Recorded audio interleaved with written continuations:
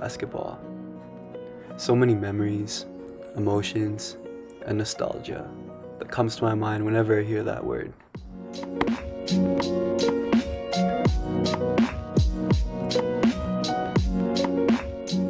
A game so simple as a ball and a hoop has in fact changed my life. I've learned how to work hard and earn my minutes. I've learned how to win, and I've also learned how to lose. I've learned how to make friends into brothers that will always be by my side. I've learned how to give it my all from the moment I get out of bed to the moment I go back to bed. Most importantly, I've learned how to be a leader, and that leads to my question. How can an average basketball player become a leader and an important role player on his or her team without years of basketball knowledge? Leadership is a skill that can be applied to anything in life. It's a skill that is valued in the real world and it shows responsibility and integrity for whatever it is that you do. Leaders are the ones that do the right thing, even when nobody is watching. They're the ones that love the process more than the success.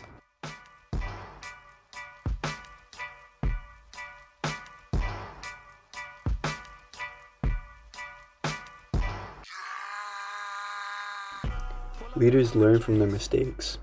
They say success comes from good decisions. Good decisions come from experience. And experience comes from bad decisions. Leaders lead by example. You must hold yourself accountable before you can hold anyone else accountable. If you expect your players and teammates to be on time, you need to be on time. Leaders have confidence. You have to feel good about yourself to be a good leader. No one is going to follow someone who doesn't believe in themselves. Leaders set a high standard. If you can do everything to your best ability, then you can expect it from those around you. If you're always working hard and putting your heart into every practice, workout, and game, then you can expect your teammates and players to do the same. You want to be the type of leader who raises the level of everyone around you. Leaders put others' needs before their own. Compassion and empathy are extremely important qualities of a leader. You cannot be a selfish leader. Are you playing for the scoreboard or the scorebook? The best way that I've learned to lift a team up as a coach um, when we're losing a game is to try to pull out an emotional response from the players. Um, of course, as a coach, you put in strategic changes and different plays, different sets, etc., um, all the time. So you're looking to make changes as much as you can. But really, the main thing that you can do as a coach is to help motivate the players. And from my experience, the best way to do that is to pull their emotions out. Because as a coach, you can put in as much passion as you want, but it doesn't matter unless the players are there with you.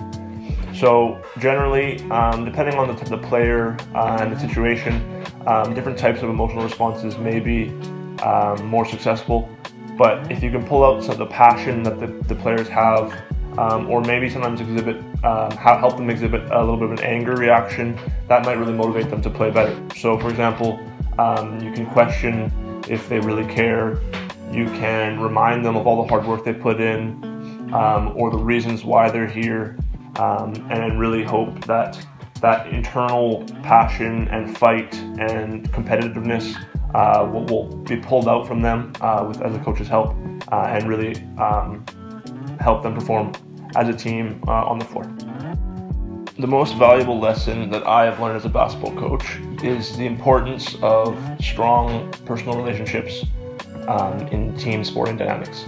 So, both in terms of um, teammate to other teammates and teammate to the coach. These strong bonds um, on and off the court between two people really foster um, a, a strong team dynamic. And when I say that, I mean that I've learned from experience that a team will only work as hard as they care for their teammates and for their coach. A team will work harder, a team will put in the extra time, will do what it takes to get better as an individual and as a team, and that ultimately will, will play out as team success and individual success. Um, the, the outside factor of playing alongside people who you care about and for a coach that you care about uh, or from a coaching perspective, um, being able to coach for kids that you care about, uh, it, it, really drives um, good um, opportunities to work harder than you normally would and to really achieve your, your best. And that strong team dynamic um, really helps to, for, for both individuals and for a team to grow and to have success. Time that I had to step out of my comfort zone as a coach, um, which made me a better coach, was um, my first year of coaching. Um, the team was on uh, not so good of a run, and um, I decided uh, that an emotional response for me was, was really required to help pull out um, the best of, of, the team. And my, I had never really been a person who, who exhibited emotion outwardly very, very often or very easily, very naturally.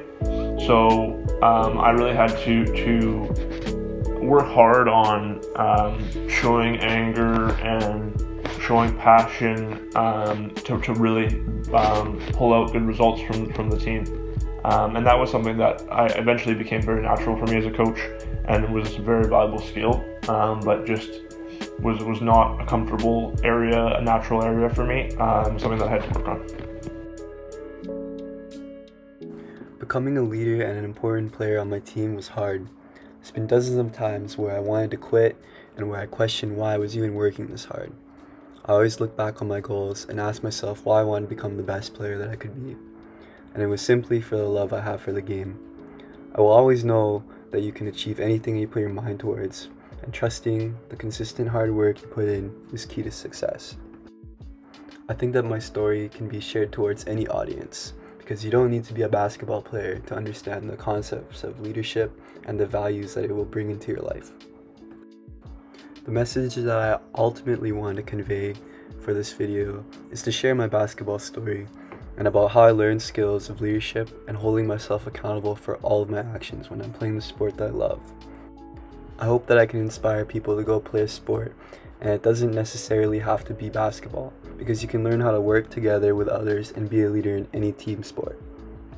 Since I've started putting together this video, I've learned that passion fuels the game of basketball.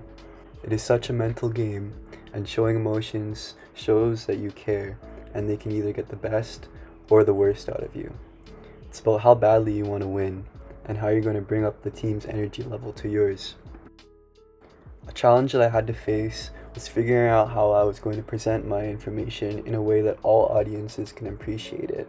And I think I did a good job at making my video unique and professional at the same time.